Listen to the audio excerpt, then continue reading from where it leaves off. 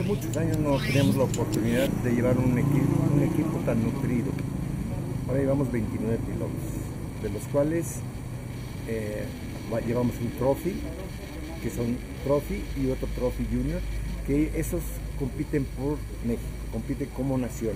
Independientemente que cada, cada uno va por su medalla, pero los que realmente compiten por nación son el trophy y el trophy.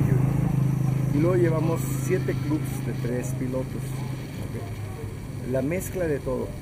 Tenemos un muy buen trophy, un excelente trophy junior y de los otros tenemos la mezcla de muy buenos pilotos en México.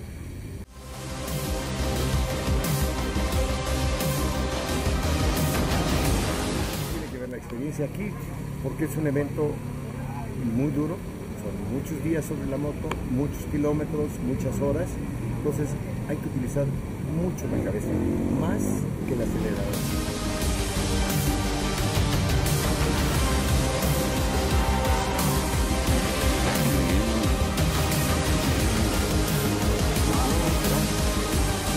tenemos mejores posibilidades en los dos equipos, el Trophy y el Trophy Junior.